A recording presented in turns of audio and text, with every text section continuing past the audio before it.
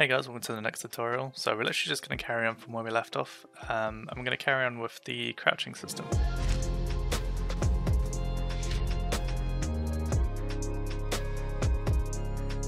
Um, so let's go ahead and tidy it up a little bit. I'm actually going to go into SVR models and we're going to create a new serializable class. I'm going to create a new public class for player, or we'll go character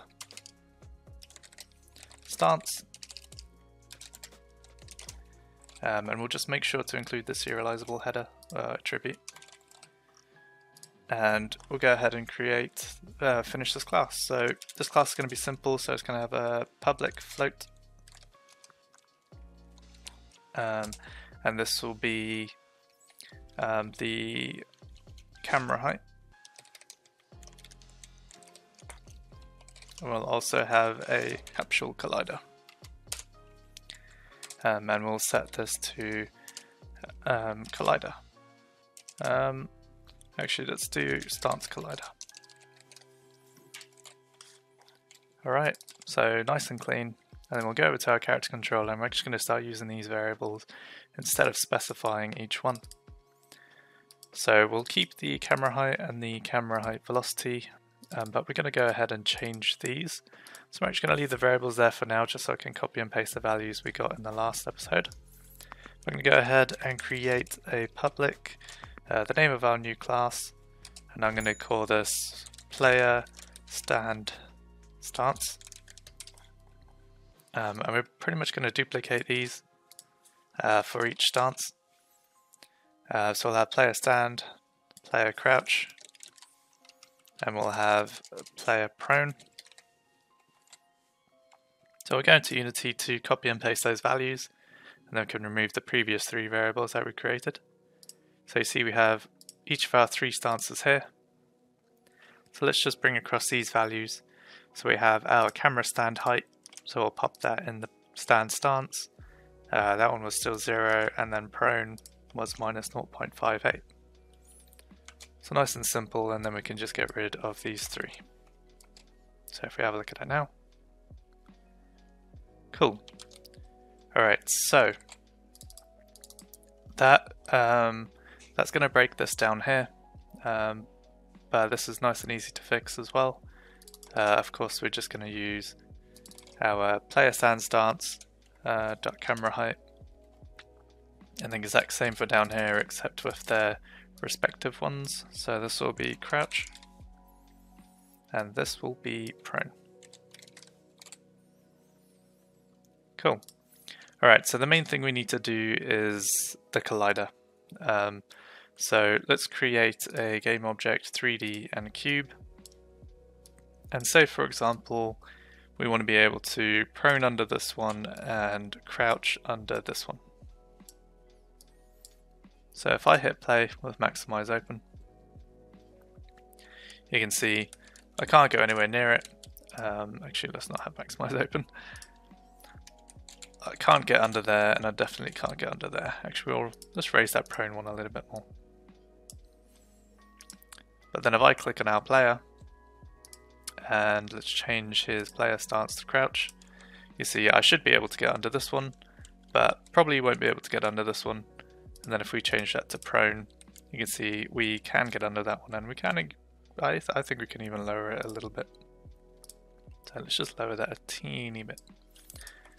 Cool. All right. So that's the aim for uh, this this tutorial is to be able to prone under that one and crouch under that one. So it should be quite simple, right?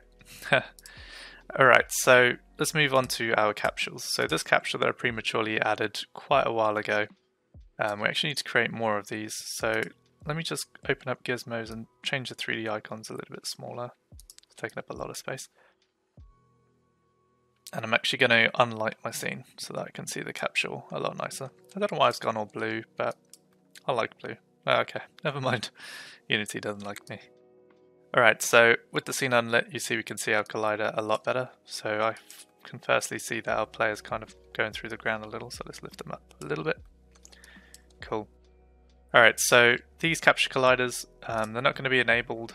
Um, they're basically just going to be used to house these variables for us Um, so the main things we care about, the radius should always be the same. I'm going to change that to 0.3 actually. Uh, the radius should always be the same, but the height and center will be changing depending on whether we're crouched, uh, whether we're standing, and whether we're prone. Um, so with this capsule collider, I'm just going to right click it um, and I'm going to copy copy component. Um, and then I'm just going to right click again and paste component as new. So see, we've got another capsule collider here. Um, I actually want to move these around, so you can just click and drag, um, or you used to be able to. Uh, click the three little meatballs and you can click move up and move down. Let's just move these next to each other. Uh, I'm going to move that down, and I'm going to do the same thing again. Comp paste component as new, and let's move it with the others. Uh, so move up and move up. Of course, you can. Uh, the other way of doing this is just to um, change the capsule collider to how you want it, save the values in a variable, but this way it makes it nice and easy to edit inside the editor. Um, and yeah, anything we can do to make our jobs easier later on, I think we should be doing. so let's go ahead. Our middle one is going to be the crouching one. Um, so let's change that height. So say for example, our crouch height will now be 1. So you can see that's a lot smaller um, maybe even not 1, maybe 1.3, uh, that's not 0.3, 1.3, or that might not be low enough. Uh, but of course we now need to change the Y so that the collider is on the ground. Um, so let's just change that to say minus 0.4. So that's too much. We'll just keep playing around until obviously the lines match up.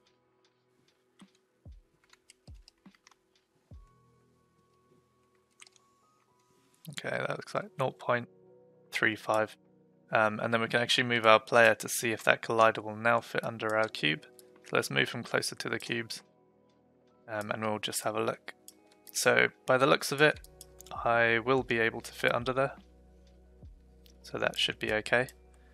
Um, and what I'm actually going to do is I'm going to hit play and we'll take a look um, where the camera actually goes. If I change, if I open up the character controller script here and change that to crouch, we can see that it kind of fits in line, um, but not not as so if I stand. You can kind of see where we're basing our camera depending on the collider, so it's kind of where the radius begins. So that's a good indication. Um, we could even lower that a little bit. I think I think we can lower that a little bit. Um, so we'll, we'll change that a bit.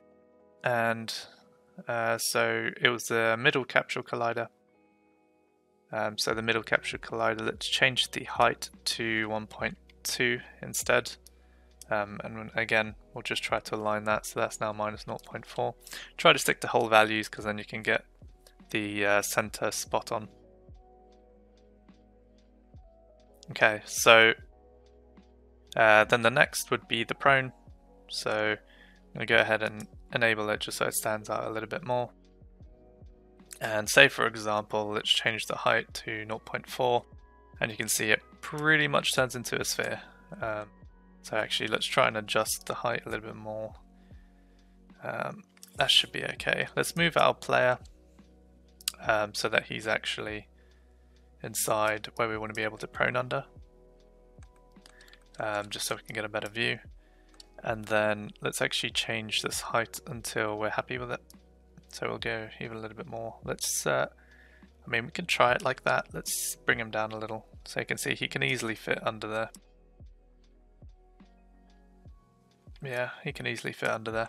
So let's just try to get this value exact. So we'll change that to 0.8 and we'll try that at 0.6, which looks spot on. Um, Alright, so we'll leave that. Make sure to disable it again. So let's close all three of these capsule colliders. Uh, we now know that the top one, the middle one, and the bottom one um, is the the standing, the crouching, and the proning.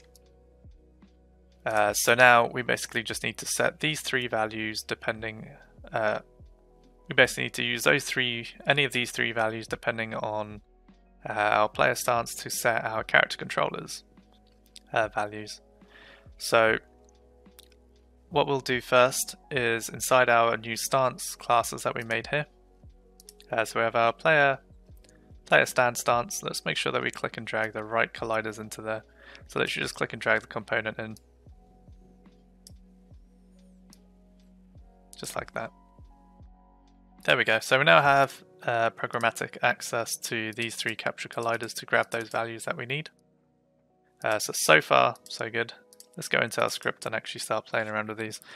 Um, so like I said, there's one float that we're going to need to smooth, um, and there is also one center that we need to smooth, um, and the smoothing the smoothing speed needs to be exactly the same. Um, otherwise you get some funny behavior. Alright, so let's go ahead and begin with our capsule smoothing. Uh, so we'll create a private vector 3 so that we can smooth the center. So we'll call this capsule. Uh, actually, let's call this um, yeah capsule. Uh, let's call this stance capsule center. Um, and then we also need the exact same thing for the velocity.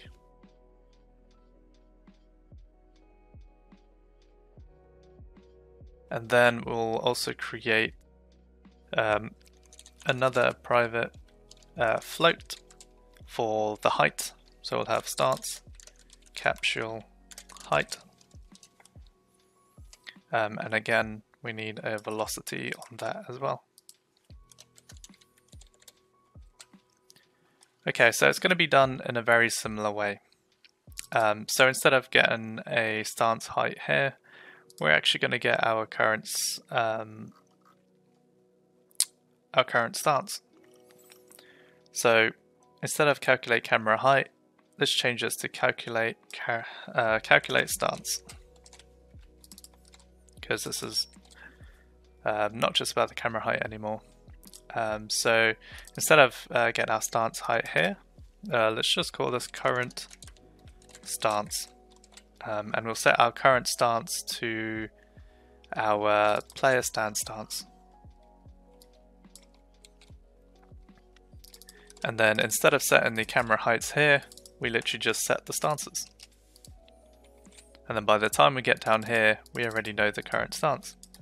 Uh, so we'll say, instead of just using that variable we had created stance height, we can do current stance dot camera height. Okay, so now that we have the camera height here. Let's carry on with the rest of our capsule.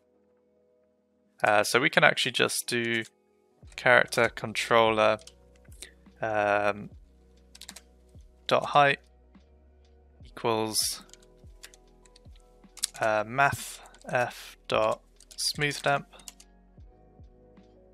and then so what we want to smooth damp this height to so we'll have the height um, and we'll smooth damp it to um, our current stance.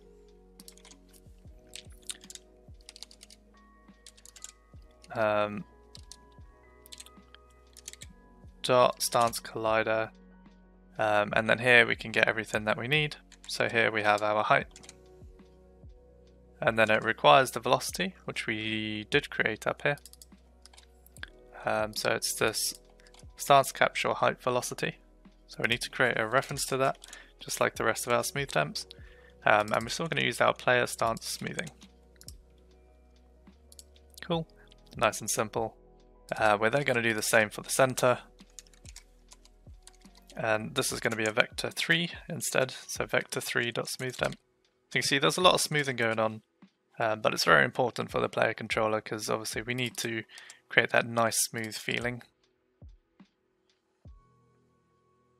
Yeah, so smooth damp, we want to smooth the center to our current stance. Dot stance collider dot center, and then we'll ref our character, oh, not character controller dot center, um, the variable we created up here to house the velocity, stance capsule center velocity. So I'll reference that, and then again we just use player stance smoothing.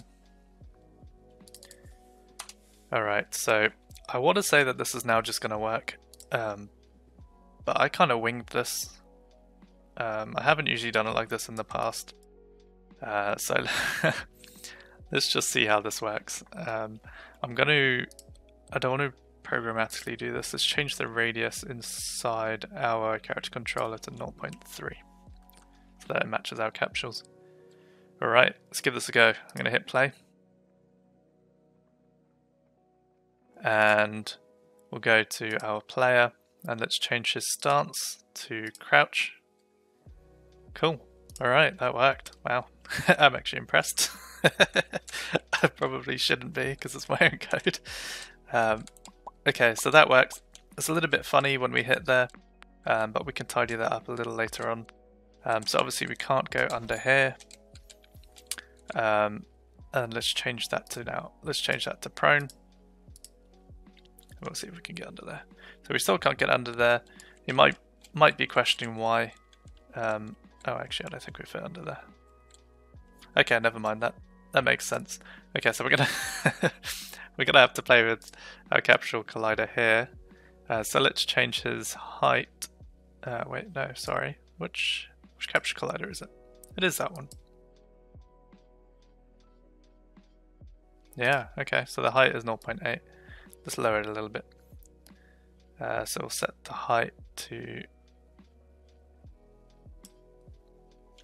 say 0.4 or something. We set it to 0.4, okay, we could definitely get under there with 0.4. So now it look like something out of Star Wars. Is that too small? I don't know whether that's too low to be able to prone under. Maybe let's just lift that a little bit. I'm going to come out of play. Um, and lift that a little bit. I feel like that's too low. Obviously we can make it work, but I don't feel we should. Um, let me just set the player stance to prone and go back in. Alright, so we're prone. Can I get under there? Okay, yeah, I think, to be fair, I think that's fine. Yeah, I think that's fine. Okay. Alright, so I think that's going to be it for this episode. Uh, we managed to get the starters working, which is good. Um, there is obviously uh, a bug that you can probably see coming up in the future, whereas if we uh, crouch under this and then stand up, we'll just go right through it. So in the next episode, we're going to add those checks to make sure that we can stand uh, or can crouch from prone, uh, those kind of checks. Um, and what we're also going to do is we're also going to finish up our input so that we can actually hit stuff on the keyboard instead of having to use the inspector. Alright, so thank you for watching. If you get stuck, just join the Discord and let me know.